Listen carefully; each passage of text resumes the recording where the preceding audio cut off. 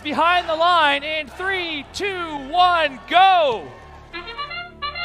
Jack in the Bot, one of two remaining undefeated teams in the competition. Will they stay that way, or can the Blue Alliance spoil their day?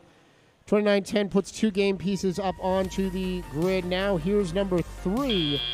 And with 1983 and 2046 also contributing, that's a 45 point autonomous period, make it 49. Blue Alliance, though, puts up 45 as well, and already a very high scoring and close match as drivers now in control of their machines. 2910, 2046, 1983, all place game pieces for the Red Alliance. But for the Blue Alliance, they are no scoring slouches. 3218 Panther Robotics, currently seated 8th. They're zipping across the field alongside Error Code Xero to add to the Blue Alliance scoring effort. Cloverbot's there as well, and one, two, three Blue Alliance game pieces drop. 83 to 75 now, the Red Alliance in the lead, but it's no blowout to be sure as we hit a minute and a half to play. 1425 back across the field to the Blue Alliance side of the community. They drop a cone, then make way for 3674. The Cloverbots with a cone of their own. That's going to go onto the grid as well. And it's 108 to 94 now as we hit a minute and 15 to play. Red Alliance still holding on to the lead.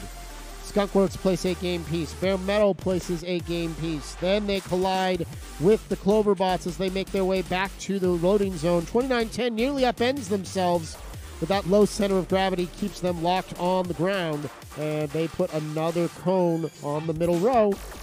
Red Alliance still with four links completed and a 121 to 103 lead as we hit 45 seconds remaining in that match. Looks like it's going to be another two links just like that on the Red Alliance side of the field. They're up to six and 144 points. Make that seven. Full grid once again, not off the table as we still have 33 seconds to play. 113 points on the blue side of the field. Also great. They've completed their act, their sustainability bonus. So at least one rank point for both alliances sure to come in.